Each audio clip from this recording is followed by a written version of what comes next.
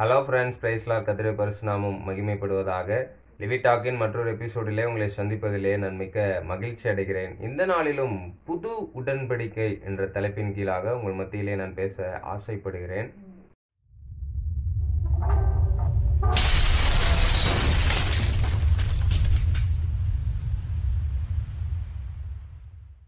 உடன்படிக்கை என்றால் ஒப்பந்தம் அக்ரிமெண்ட் என்று சொல்லி அநேக அர்த்தங்கள் இருக்கிறது. ஒரு மனிதன் இன்னொரு மனிதனிடத்திலே நான் இதை செய்வேன் நீ இதை செய்ய வேண்டும் என்று சொல்லி ஒரு ஒப்பந்தம் பண்ணி கொள்வார்கள் ஆனால் இந்த இடத்திலே வேதாகமத்திலே நாம் பார்த்தோம் என்றால் ஆண்டவர் சில மனிதர்களோடு உடன்படிக்கை செய்திருக்கிறார். ஆண்டவர் ஆபரகாமோடு கூட உடன்படிக்கை செய்திருக்கிறார். ஆண்டவர் யாக்கோபோடு கூட உடன்படிக்கை செய்திருக்கிறார். ஆண்டவர் ஈசாக்கோடு கூட உடன்படிக்கை செய்திருக்கிறார். ஆண்டவர் யோசேப்போடு கூட உடன்படிக்கை செய்திருக்கிறார். இப்படி பழைய ஏற்பாட்டிலே ஆண்டவர் அநேக மனிதர்களோடு உடன்படிக்கை செய்திருக்கிறார். இது பழைய ஏற்பாட்டு காலத்திலே நடைபெற்று வந்த உடன்படிக்கையாய் இருக்கிறது.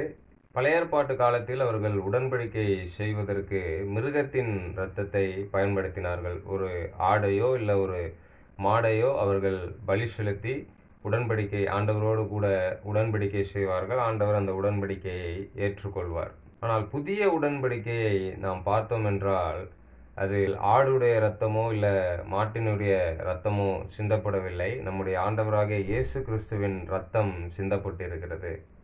பழைய ஏற்பாட்டு காலத்தில் ஒருவன் ஒரு பாவத்தை செய்துவிட்டால் அந்த பாவத்திற்கு பிராயச்சித்தமாக ஒரு ஆடையோ இல்லை ஒரு மாடையோ கொண்டு வந்து பலி செலுத்தி பாவ நிவாரண பலியாக அதை பலி செலுத்தி தன்னுடைய பாவத்தை அவன் தீர்த்து கொள்வான் ஆனால் புதிய உடன்படிக்கையில் நாம் பார்த்தோம் என்றால் ஆண்டவராகிய இயேசு கிறிஸ்து நம்முடைய எல்லா பாவங்களுக்காக எல்லா மனிதருடைய பாவங்களுக்காக ஒரே ஒரு மனிதன் பலியாகி தன்னுடைய இரத்தத்தை சிந்தி இந்த பாவங்களை எல்லாம் அவர் கழுவி இருக்கிறார் என்று சொல்லி நாம் பார்க்க முடியும்.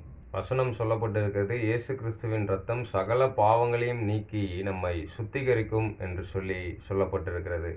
பழைய ஏற்பாட்டு காலத்திலே சிந்தப்பட்ட ரத்தம் மனிதனுடைய பாவங்களை மறைத்தது மூடி மறைத்தது. ஆனால் ஆண்டவராக இயேசு கிறிஸ்துவின் ரத்தமோ அந்த பாவத்தை முற்றிலுமாக நம்மிடத்திலிருந்து நீக்கினது. பழைய உடன்படிக்கை டெம்பரவரி ரிலீஃப் புதிய உடன்படிக்கையோ பர்மனன்ட் ரிலீஃப் ஆண்டவராகிய இயேசு கிறிஸ்து சொல்லுகிறார் தன்னுடைய சீசர்களோடு கூட அவர் அப்பம் பிட்டு பந்தியிலே இருக்கும் பொழுது அவர் பாத்திரத்தை எடுத்து இதில் வாங்கி பானம் பண்ணுங்கள். இது என்னுடைய ரத்தத்தினாலான புதிய உடன்படிக்கையாய் இருக்கிறது என்று சொல்லி அவர் சொல்லுகிறதை நாம் பார்க்க முடியும். எனவே ஆண்டவராகிய இயேசு கிறிஸ்து அவருடைய இரத்தத்தினாலே அவருடைய இரத்தத்தை சிந்தி நம்மை விளைக்கரையும் செலுத்தி நம்மை வாங்கியிருக்கிறார். பாவிகளான நம்மை அவருடைய இரத்தத்தினாலே கழுவி பிள்ளைகளாய் மாற்றியிருக்கிறார். நாம் ஆண்டவருக்குள் புது சிருஷ்டியாய் நாம் இருக்கிறோம். எனவே அவருடைய இரத்தம் கிருபை நிறைந்த இரத்தமாய் இருக்கிறது. எனவே நாம் கிருபையின் காலத்தில் வாழ்ந்து கொண்டிருக்கிறோம். பழைய ஏற்பாட்டு காலத்திலோ இல்லை பழைய உடன்படிக்கையை பின்பற்றின காலத்திலோ நாம் ஆண்டவரத்தில் நெருங்க முடியாது.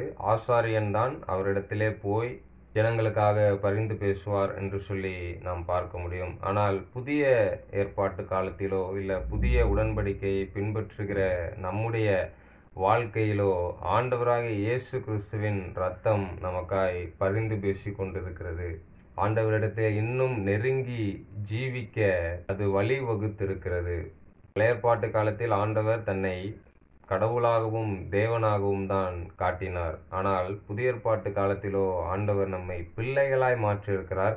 அவரை அப்பா என்று கூப்பிடப்படும் புத்திர சுவிகாரத்தை நமக்கு தந்திருக்கிறார்.